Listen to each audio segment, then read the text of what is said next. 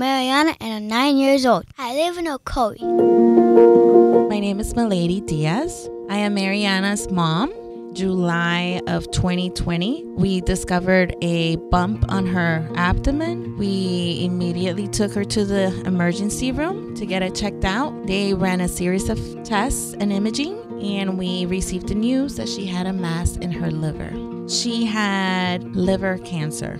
Well, when I found out, I was really bummed in the inside because I have to go to chemo, I have to go back to the hospital, and I just can't deal with it because my heart would be too weak if I wanted to do it. The news were received in the middle of pandemic. It was 2020. I had just had my youngest going through the treatment and doctor's appointments and everything basically ourselves, right? Because they're limiting visitors and things at the hospital and everything like that.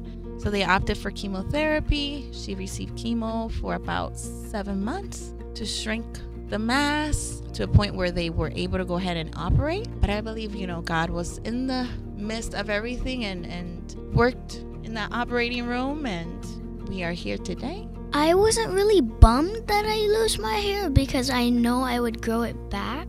But in the inside, I really didn't want people to see me. Well, I knew about Make a Wish. You know, I think it's very well known.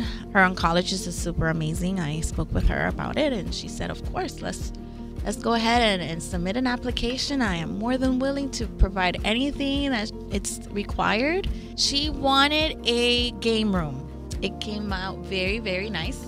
We have an extra room on in our house, and so we transformed it like a gaming room. And so we incorporated some of the things that she loves. So she loves to play the piano. And so we did an area of music. She has two younger brothers. So we did an area of reading. She loves to read. And then, of course, her gaming, lighting, and theme everywhere. She was very thankful, you know, being in that room. It reminds her of what she went through and that she was very brave and she was very blessed